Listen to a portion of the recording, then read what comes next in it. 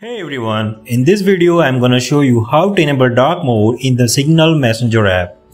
I have an iPhone and Android phone with the latest Signal app installed, one of the most privacy protected texting app worldwide.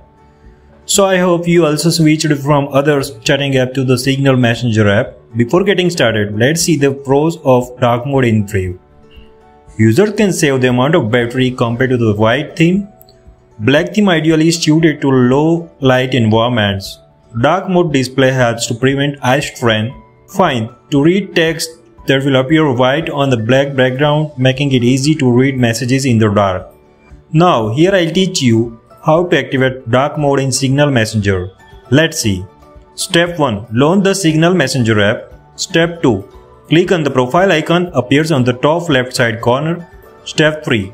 Click on Appearance Step 4. Click on the theme if you are an Android user. Step 5. Now both iOS and Android user can see three options on the screen. Tap on dark. Now just Signal app appearance looks dark while the system still on a white theme. Hopefully now your eye feeling better to read chat and Signal in the dark place or low light.